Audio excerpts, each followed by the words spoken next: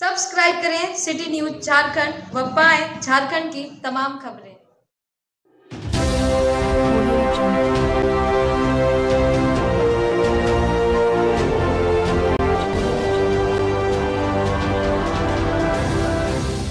गढ़वा ज़िले के केतार प्रखंड क्षेत्र के विभिन्न विद्यालयों में गुरुवार को राजकीय मध्य विद्यालय केतार में अभिभावक गोष्ठी का आयोजन किया गया, जिसकी अध्यक्षता केतार पंचायत मुखिया प्रमोद कुमार ने किया।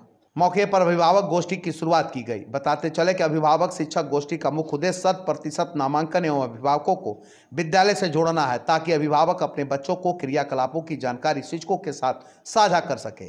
वहीं विद्यालय के प्रधानाध्यापक देवेंद्र कुमार ने बतलाया कि बच्चे घर से पहली शिक्षा प्राप्त करते हैं, इसके बाद विद्यालय में पढ़ाई की शुरुआत करते हैं। गोष्ठी में काफ़ी संख्या में अभिभावक उपस्थित थे। वहीं गोष्ठी के दौरान अभिभावकों ने विद्यालय के सटे लोगों ने अतिक्रमण किया है। उसे मुक्त कराने के लिए प्रस्ताव में लाकर प्रखंड विकास पदाधिकारी प्रबंधन समिति के अध्यक्ष ने आवेदन देकर वापस आते तक त्वरित कार्रवाई करते हुए प्रखंड विकास पदाधिकारी और थाना प्रभारी के साथ मध्य विद्यालय में जाकर अतिक्रमण मुक्त कराया।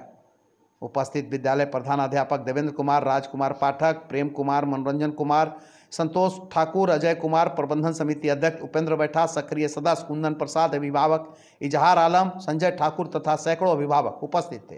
केतार से सूरज कुमार की रिपोर्ट। देवेंद्र कुमार, प्रभारी प्रधानाध्यापक राजकीय मध्य विद्यालय केतार।